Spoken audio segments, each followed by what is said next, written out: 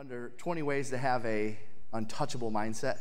Know the difference between scarcity and abundance and catch yourself when you're going scarce. Because here's the deal you could be the most abundant person in the world. You are human if you have some scarcity type thoughts. That's called life, it's called normal. You're gonna have some negative thoughts entering into your mind, some scarce type of thoughts entering in your mind. How long do you hang on to them?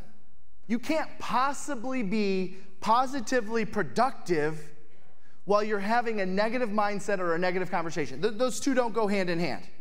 You can't possibly be moving your business forward when there's negativity going on upstairs. So, how often do you find yourself in scarcity and letting that control whatever happens next? Because you know you can, we can't always control the first thought, but you can control the second to perpetuate the problem or to move away from it.